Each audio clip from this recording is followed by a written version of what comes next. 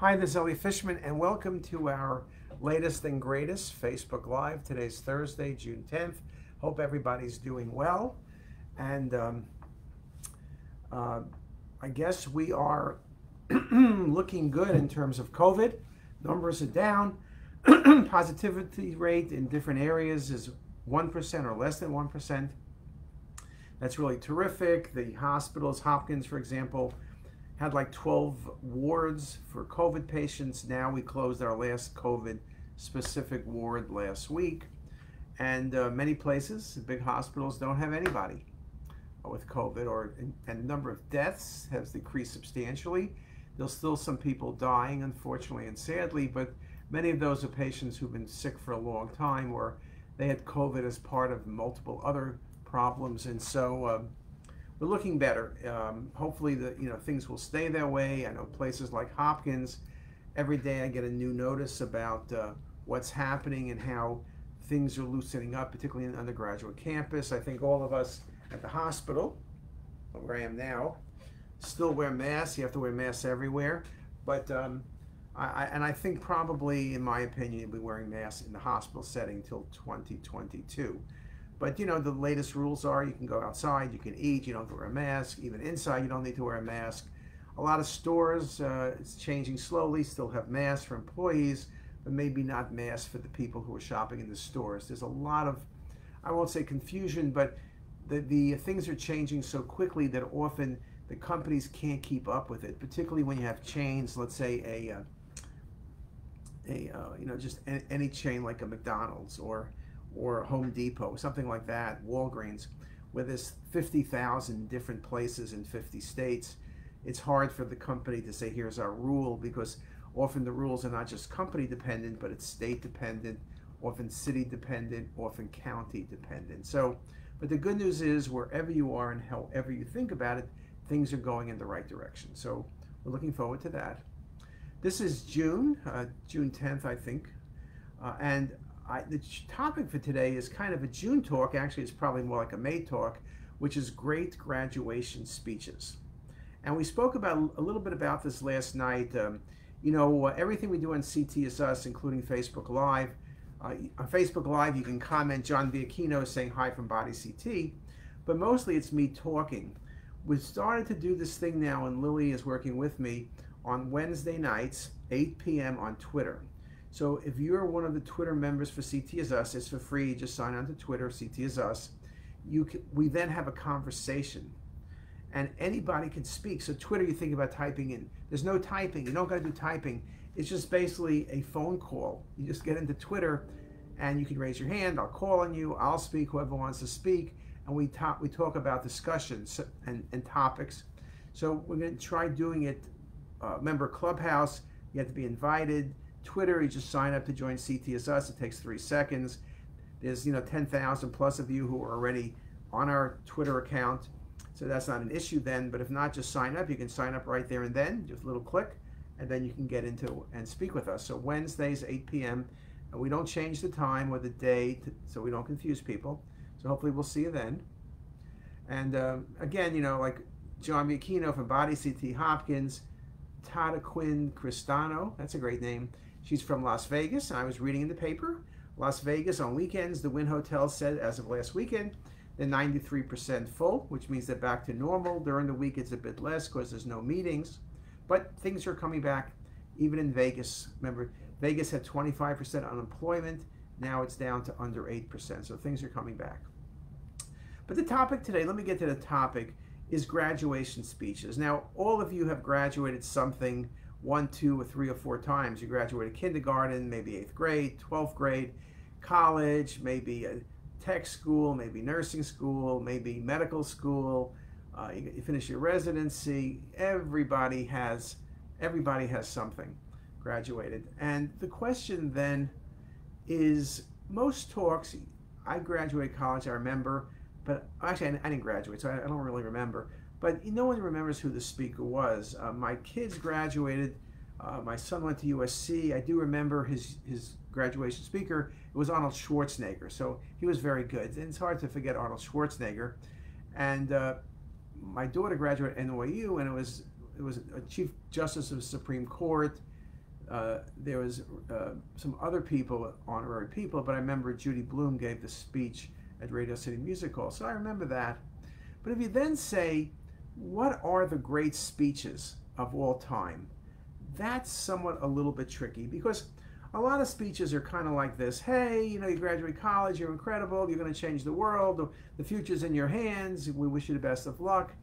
Those all sound good but they're very boring you know because they say what you heard when you were in high school. In high school you're going to college you're going to change the world you're the next generation you're the best the best of the best the best the best the best. But it doesn't really say anything i've listened i like to listen to talks and if you listen to things like the talks in history that people say are the best. Um, Moses coming off the mountain when he got the, the Ten Commandments. Now, I heard that was a great talk, but that, that's not online, so I really can't really tell you. I wasn't there, I didn't hear it. So, but talks like, if you want to hear wonderful talks, you listen to John Kennedy's inauguration address in January 1961. Just an amazing talk. Or some of the talks he gave about the space program, looking about vision, thinking ahead. You listen to Winston Churchill speaking after the catastrophe um, uh, at Dunkirk and actually the successful saving of 400,000 British and French soldiers across the, uh, the British Channel. The amazing tone, the FDR talk after the Japanese attacked Pearl Harbor. But I'm talking about not world events, I'm talking about graduation now.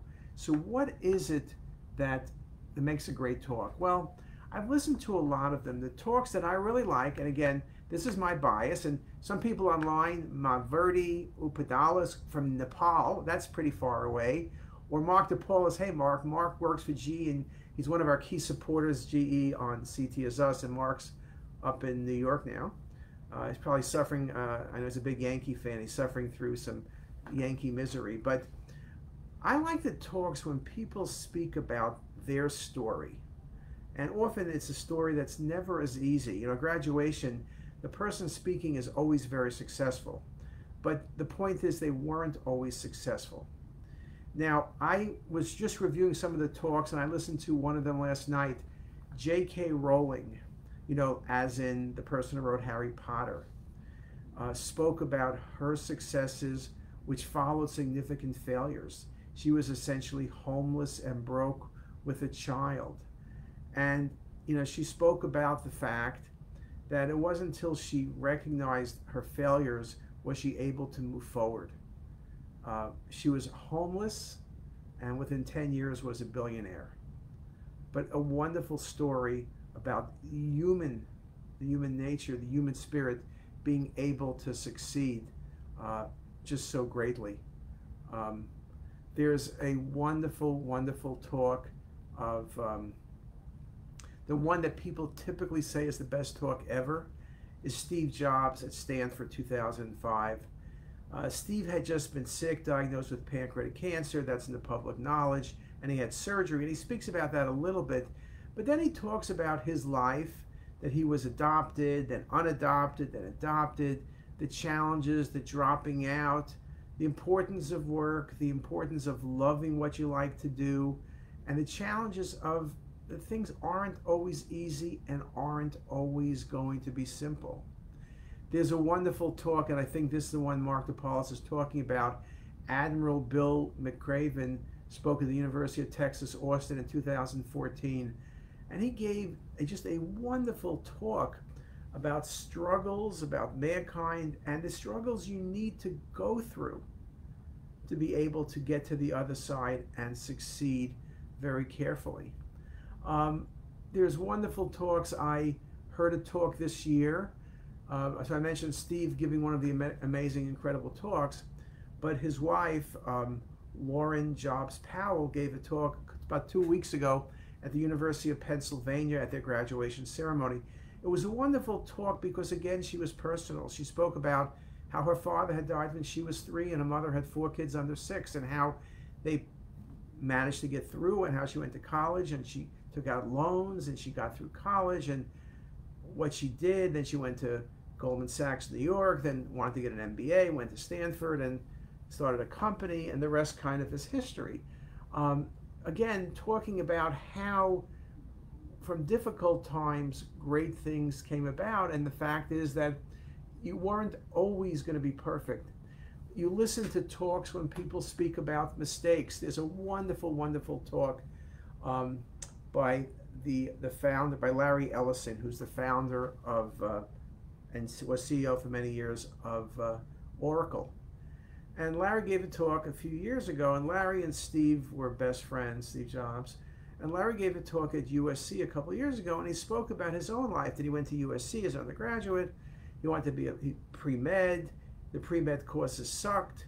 He hated every moment of it, but he loved California, the water, the mountains, and everything. And he fell in love with that, but he hated school and eventually dropped out. He learned to do some computing. He was good at that and he did enough computing so he wouldn't have to spend. Uh, he just did enough so he could spend time in nature. He was somehow got married along the way, and he mentions when he was in his young twenties, he came home one day and his wife said, "I'm I'm leaving you because you're unsuccessful, uh, and you'll never be anything." And his parents, you know, disowned him because they they wanted him to be pre med, and he didn't want to be. And Larry said he then you know decided what he wanted to do was make a small company with a few friends and maybe 10, 15 people, make enough money so they can live a life of enjoying themselves. And as he says, he wasn't very successful because Oracle was not 15 people, but now is 150,000 people, and Larry was worth 80 or 90 billion dollars. And he spoke about the challenges of how he did things. He also spoke about one of the things that I think people do take to heart. And he said that, you know, his challenge was getting through the things because he didn't live up to his wife's expectations and he didn't live up to his parents' expectations. And at the end, it was really his expectations that he managed to live up to and succeed. Steve Jobs, when he spoke, he said, Don't live someone else's dream. People often have a dream of what you should be, but maybe that's not your dream. And the only thing that really matters, quite frankly, is what your dream is because you're living your life and those people may it may be your parents or your friends and they really want you to succeed but they may that's not you. You need to succeed on what you want to do and whether it was steve jobs or whether it was larry ellison or whether it was j.k rowling that's the point she made as well that her parents wanted her to do something. They did not want her to do literature what she did. She had to lie to her parents she said they probably didn't know what she studied in college until she they were at her graduation. And so she even said when things got tight financially, she it was like she was living uh, her parents' worst nightmares. But it's it's things like that, and I think in listening to those talks, you do learn a lot. There's a wonderful talk from Ed Catmull at Hopkins. Ed was the head of Pixar for many years. Ed worked with Steve Jobs care closely. They were co heads of Pixar. And Ed's point was you need to make mistakes. He wrote that in his book Creativity Inc. that you need to not worry about making a mistake. If you don't aim high, if you aim low, let me rephrase that. If you don't aim very high, if you aim low, you may not make many mistakes because you take no chances. The higher you aim, the more likely you are not to be successful. I'm not saying fail, but you may not be successful the first time. Edison spoke about how it took him 10,000 times to figure out how to make a light bulb. And he didn't say he, he wasted 9,999. He was wrong 9,999 times. No, no, no, no. He said he, he didn't find the right answer 9,999 times, but all of that testing allowed him on the 10,000th try to get the right answer. You know, it's kind of like a baseball player, and since Mark DePaul is on the call and is a big baseball fan, if you bat 350, 350, you would win the batting crown every single year. But you realize the other way to think about batting 350 is you're out. You make an out two of every three at bats. So truthfully, one out of three is 333. You bat 333, you still win the batting crown. But the point is, you don't focus on the fact that you that you got out. You, you know, in a year you may have 600 at bats. You don't focus on this 400 times you didn't do what you needed to do, but you focus on the 200 times you did what you needed to do. and maybe someone else could only do 150, then they'd be batting one out of four, 250. You were 333 because you were 50 more. So it's the individual successes, but it's the focus on where you're thinking. You're not thinking about the outs you made, you're thinking about the hits you made.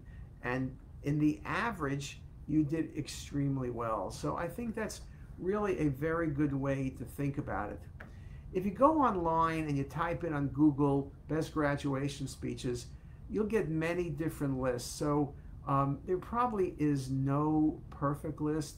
And one of the top graduation speech, speeches is Ellen DeGeneres at Tulane in 2009. There's a wonderful, there's a number of wonderful talks from Harvard, but you can go online. There's talks from Barack Obama and Steve Colbert and Bono, Jeff Bezos. There's a lot of talks, and it's always interesting when you look at the talk. You can't. You also have to think about when the talk was given. When you listen to Jeff Bezos, 2010, 11 years ago, Amazon was coming along, but it was not what Amazon is today.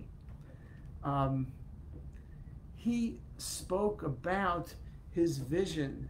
He spoke about there's a difference between gifts and choices. Cleverness is a gift, kindness is a choice. He spoke about things like that. And then you look and you say, my God, that guy, he said that 10 years ago. You listen to Steve Jobs, his talk about how you need to think about yourself and finding your path in life. That talk was 2005, but that talk is like a Seinfeld episode. It will make sense in 3005.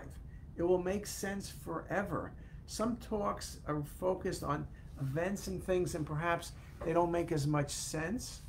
But some talks just really, uh, like the one from um, Laurene Jobs, Powell, she did not mention the word COVID once. She said you had a challenging year. Well, every year is challenging. You know, it's not like COVID ruined everything. I mean, COVID was a difficult year. You can imagine whatever school you went to or whether you didn't go to school. But I think the importance of moving ahead is really what you need to be. So go online, do a Google search, you know, best speeches ever, or type in the individual people I mentioned to you. There's a lot more great speeches. Do not make a mistake and think that those are the only ones you, you need to listen to. What's good about graduation speeches, they're between 15 and 20 minutes. So even if you don't like it, A, you could always turn it off, that's true, but they're not very long. And so it forces somebody to come to some conclusion and try to make some point. And I think um, it's a really good lesson, and I think it's it, I find it really enjoyable. I think one thing that the web does provide, you could say all the issues with the internet and everything else, is the fact so many things are recorded and you could listen to them at your convenience even though you weren't there. When you listen to someone like Steve or Larry Ellison speak, I personally feel like I'm in the audience, that I'm transposed to that time and to that place and to that moment, and he's speaking to me. I'm not sitting there looking like it's a TV episode where I know I'm not part of the program. I think it's a very powerful way of thinking about things. And as we finish getting to the middle of the month of June, finishing graduation season, it's a good time to look back in order to look forward. I think a lot of what some of these great speeches tell you will be very important for all of us as we look at the post COVID era. Whether it's people who are returning to work, leaving home, uh, going back to normal with that trepidation that, well, you know, because I know in the newspaper, like today and every day, there's going to be a new COVID variant, and the question will be, does the virus, uh, the vaccine work on the COVID variant, or is this variant going to require a booster? This question is going to be with us for years. If you ask me, we're going to get a booster every year just because, like we get with the flu, no big deal, we'll all take it. But I think, you know, as we come out of this, this mothball, you know, being basically locked away for 16 months, it's a challenge for people going back to normalcy I think it's going to be um, not as easy for some people as it is for other people. But I think at the end of the day, it should be great. And we look forward to great things. But if you want to listen to some of these talks, I think it will prove helpful to you.